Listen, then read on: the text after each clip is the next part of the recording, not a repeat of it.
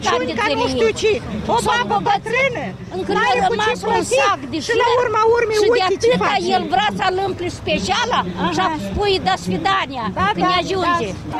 Rușine! Rușine! Rușine! Da. Și am să-l votez pe Dodon și toată lumea din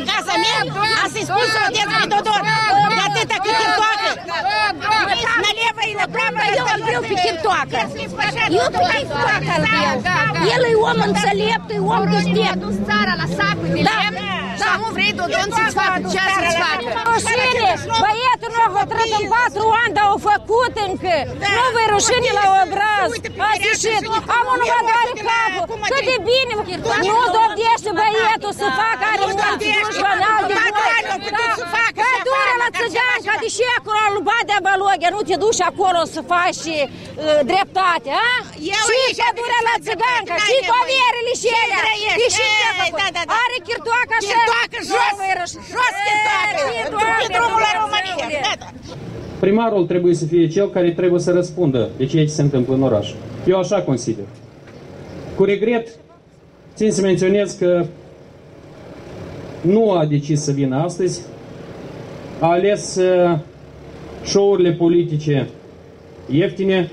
Eu, uh, de fapt, uh, am pregătit 13 întrebări pentru domnul Chirtoacă.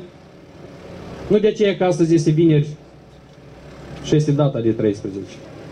Unii spun că piatnița trenat stă, așa Însă de aceea că domnul Chirtoacă este sub numărul 13 în buletinul de vot. În primul rând, ne aflăm pe Alba Iulia.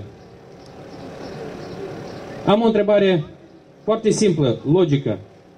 Domnule primar, de ce ați cheltuit 20 de milioane de lei aici și pe urmă ați recunoscut că calitatea acestor lucrări lasă de dorit?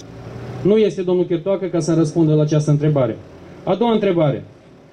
Recent, e că chiar acum, a trecut în fața noastră un autobuz, un trolebus nou. Atâtea laude, atâtea PR. Domnule Chirtoacă, unde au fost trolebuse noi acum trei ani în urmă? Eu am vrut să avem o discuție așa, unul la unul în fața dumneavoastră. Fiind conștient de faptul că, de fapt, în cursa electorală sunt 14 candidați. Nu sunt numai eu și domnul Chirtoacă. Aceasta a fost ultima oară când domnul Chirtoacă a avut posibilitatea public să răspundă la întrebări.